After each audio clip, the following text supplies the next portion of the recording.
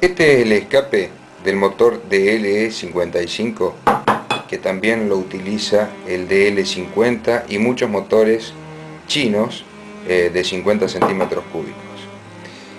Cuando nosotros hacemos una limpieza del motor en el interior nos quedamos tranquilos porque en realidad eh, tenemos la seguridad de que el motor ya va a estar sumamente limpio y no va a haber ningún desprendimiento de ningún material este, que sea algún eh, residuo carbonoso de la propia combustión. Pero ¿qué pasa?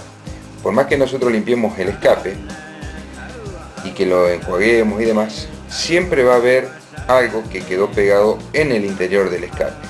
Entonces cuando nosotros abremos el motor, posiblemente el motor en alguna aspiración pueda comerse, por así llamarle, algún residuo carbonoso del el interior del escape. Estos residuos carbonosos los tenemos acá, por ejemplo, que golpeando el escape eh, empiezan a salir. ¿Qué hacemos con este material? Bueno, lo ideal sería tratar de sacarlo eh, todo lo posible. Entonces, ¿qué, ¿qué, forma o qué elemento? Vos podés conocer alguna forma eh, de limpiarlo. Yo te voy a mostrar una, que es la que hago yo, y que da un buen resultado. Eh, para hacer la limpieza del escape, y es tan fundamental hacerlo eh, por la vida útil del motor, vamos a utilizar, por ejemplo, remaches.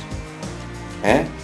Remaches en este caso son de aluminio, pero podés usar tuercas, podés usar este, municiones, podés usar algún material que pueda entrar y que pueda moverse en el interior este, del escape. También podés usar piedregullo, eh, o sea, piedritas chiquitas.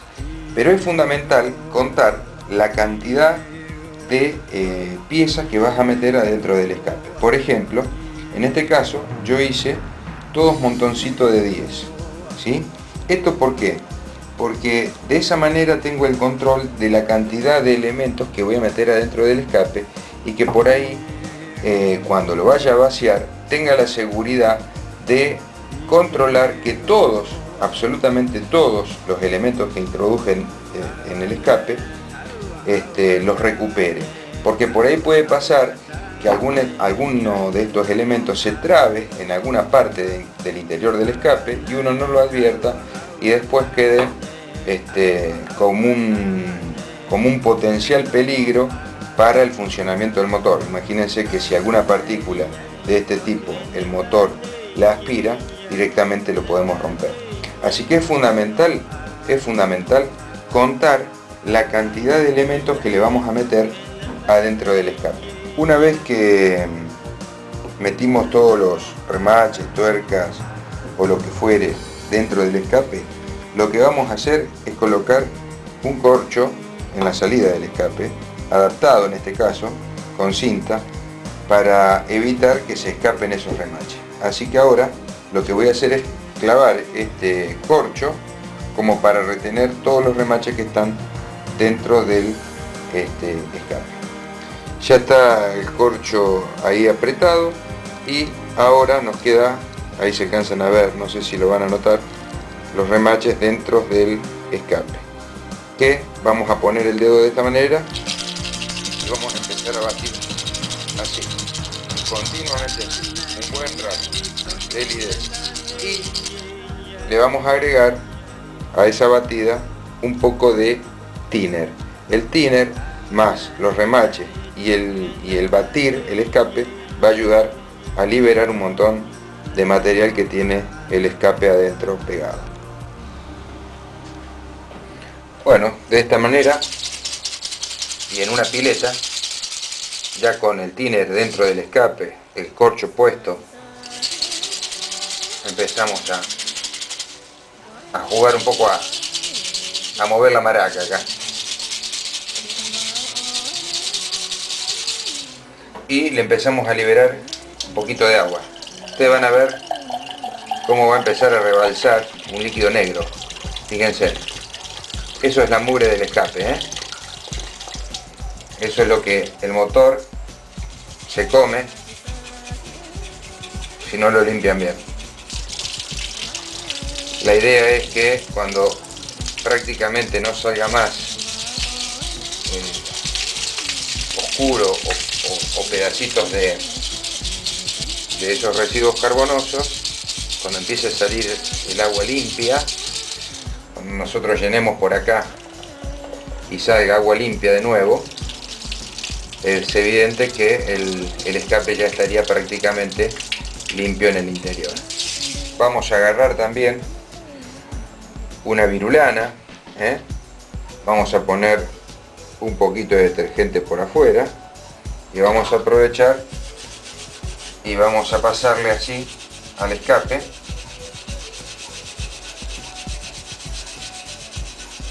de manera que vamos a tratar de limpiarlo en el interior y en el exterior también y nos va a quedar un escape bastante bastante aceptable ¿eh? después de tantos años como en este caso de uso y lleva más de, de tres años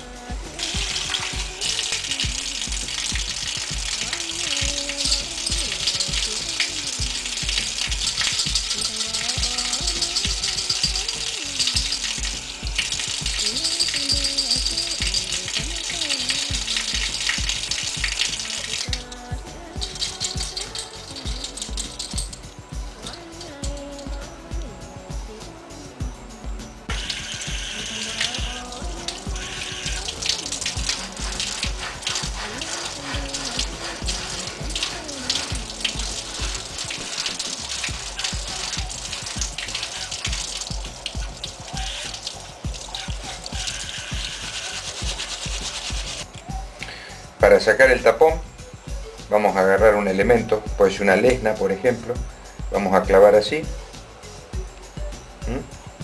y vamos a ir tirando, ahí está, ahí sacamos el tapón, ya está, descartamos el, corcho y ahora sí vamos a enjuagar todo el escape. Y vamos a hacer un último baño en algún detergente o algún desengrasante. Yo acá estoy utilizando las dos cosas detergente y desengrasante. Cargamos de agua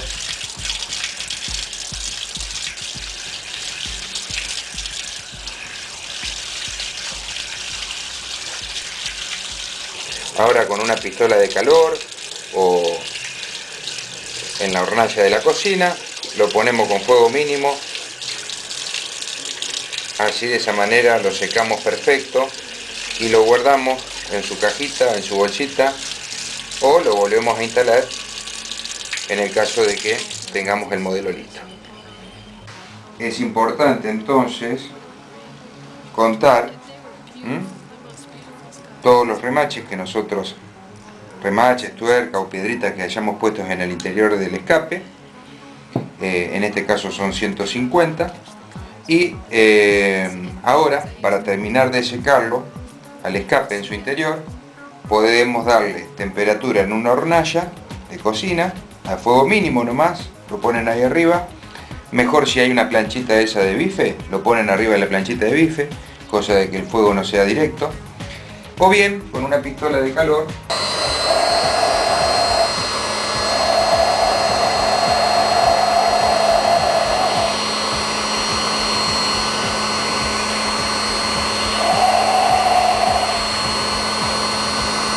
Espero que, les haya sido de utilidad y este, seguimos sumando en nuestro querido aeromodelismo